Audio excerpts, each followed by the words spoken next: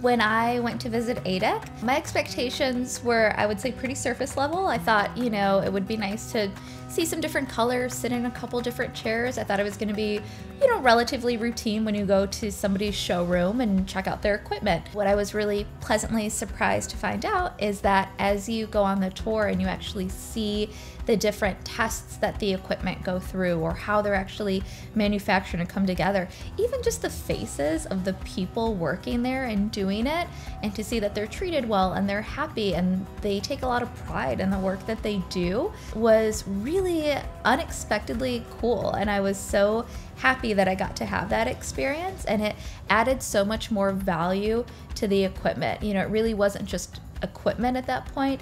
It was so much more of a thoughtful investment and it was a partner that I wanted to partner with and it was a level of quality that I knew would help take me on the next journey with my practice and also translate to my patients, right? Because I practice quality care. So I want the entire experience to be about quality and have that high end feel to it. For me, that was when I knew that A-dec was the right way to go and, and, and what I wanted in my office to see that the same level of detail and quality that I put into my dentistry is what A-dec puts into their equipment. It was a match made in heaven, I guess.